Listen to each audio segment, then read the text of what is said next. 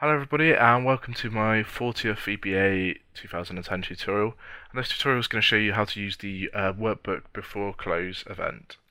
So let's just get rid of our workbook open one um, and then click on your workbook drop down and then we want to go to our before close.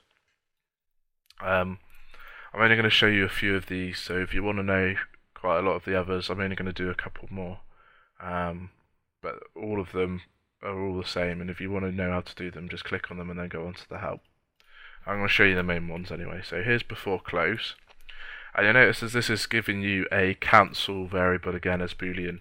So if you set this equal to true, so cancel equals true, then when you try and close the workbook, it's going to cancel it and it's not actually going to close. So if I show you this now, and then you notice it's not doing anything when I try to close it down.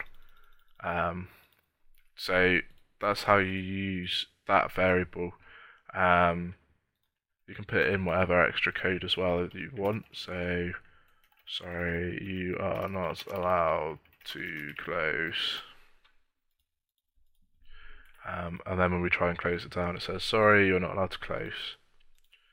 Um, and you can do other things like you can prompt to save it to a certain location, you can get it to email off somewhere. Um, you can put again whatever code in there that you like.